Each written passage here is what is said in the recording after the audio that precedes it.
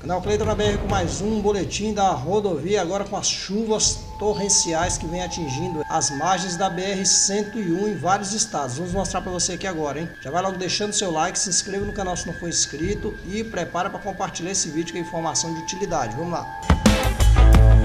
Aí nós temos imagens de Ilha Bela, lá em São Sebastião. Olha aí, pessoal.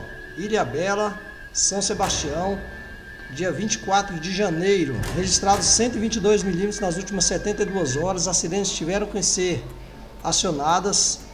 É, pontos de alagamento ali nos bairros Juqueí, Barra do Saí, Barra do Una, Camburi e Boracéia. Até sábado, dia 27 de janeiro, alerta vermelho pelo IMET para a região. Hein? O problema são as grandes concentrações de chuvas em curto espaço de tempo. O alerta também se estende para Caraguatatuba, Paraibuna, Ubatuba, São Sebastião, Ilhabela, Praia Grande, Santos, São Vicente, Guarujá e Bertioga. Guarujá, inclusive, estava falando com o seu Antônio Santos, o canal Antônio Santos da BR11. Seu Antônio, um abraço para o senhor e para dona Marilene. E ele falou que estava caindo cacau mesmo, estava chovendo para valer, viu, gente? Muita água mesmo. Pessoal, essa região de São Sebastião, no ano passado, ela foi atingida aí por uma grande fatalidade, né? Um grande volume de chuvas num curto espaço de tempo. Foram 600 milímetros em 24 horas. 64 pessoas no ano passado perderam a vida. Só para vocês terem uma ideia, essas imagens que vocês estão vendo aí foram causadas aí por uma chuva de 122 milímetros em 70, nas últimas 72 horas. Você imagina que são 600 milímetros em 24 horas. Foi muita água mesmo. Inclusive, as sirenes tiveram de ser tocadas. Esse foi o momento que as sirenes estavam tocando, avisando o pessoal das chuvas. Mandando a Defesa Civil alertando para o pessoal poder procurar abrigo, viu? Então vamos lá, vamos para a próxima cidade aqui. Então vamos lá, ainda margeando a BR-101, vamos aqui para a cidade de Amargosa, Bahia, cidade que fica a 242 quilômetros de Salvador. Chuvas essa semana causaram alagamentos aí, ó, como vocês podem ver na imagem. E a previsão do tempo para a cidade, para aquela região, é de chuvas ainda até o dia, até pelo menos até domingo, né? Então se você for passar pela região da 101 aí, bastante cuidado, porque na região de Amargosa está previsto aí um volume de chuvas. O que, que, é o perigo, gente? O perigo não é nem tanta quantidade. Se você for ver a divisão em milímetros, não é tanto. O problema é a concentração, que as chuvas elas estão caindo num volume muito grande em pouco espaço de tempo. Olha aí, gente.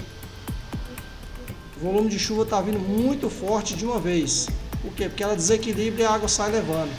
Até lá em São Paulo, inclusive, teve um fato lá de uma mãe e de uma filha que foram arrastadas uma enxurrada relativamente baixa. Olha aí, ó, teve alagamentos, tá vendo?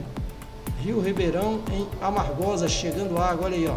E essa mãe e essa filha, infelizmente, não conseguiram sobreviver, apesar da tentativa de ajuda dos presentes. Continuando aí, margeando a BR-101, hein? Vamos lá, vamos para frente aqui.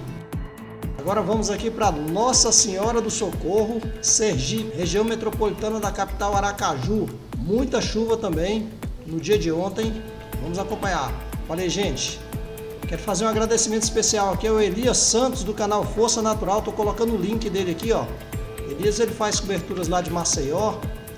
E ele mostra inclusive eventos da natureza. Ele mandou esse vídeo pra gente aí, ó. Um abraço, Elias. Obrigado. Ó, Nossa Senhora do Socorro, Sergipe, região metropolitana da capital Aracaju. Muita água caindo, como vocês podem ver. Olha, gente, olha a força dessa enxurrada. Essa enxurrada aí, ó, se uma pessoa estiver andando escorregar e cair, ela leva, tá? Ela não consegue segurar. Ela vai parar onde a enxurrada levar, se ninguém segurar. Olha, olha a moto aí, ó.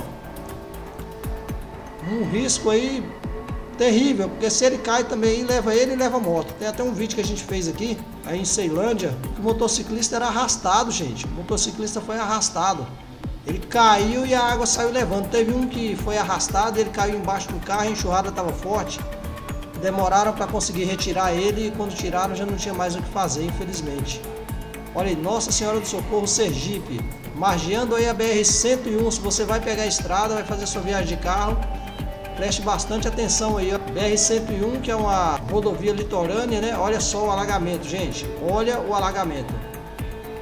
Então, bastante cuidado se você precisar de viajar ao Nordeste.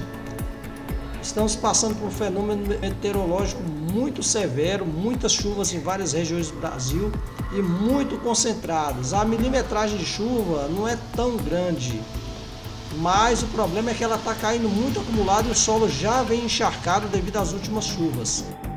Se vocês quiserem conhecer o canal do Elias Santos, do Força Natural, que mostra imagens de Maceió e fenômenos naturais também, colocando o link dele aqui ó, no título, arroba Força Natural. Depois que assistir esse informativo aqui, é só clicar e vai lá conhecer. Lá tem informações, inclusive, sobre o afundamento lá em Maceió, aquela questão da mina 18. Então assistam, que lá vocês vão ter informação também detalhada para mostrar Maceió como ela é. Um abraço, Elias!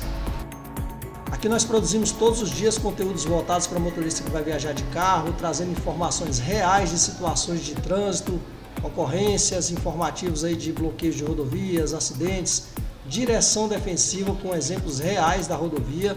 Então convido você a conhecer também os nossos vídeos. Esse foi mais um plantão da rodovia do canal Cleiton na BR.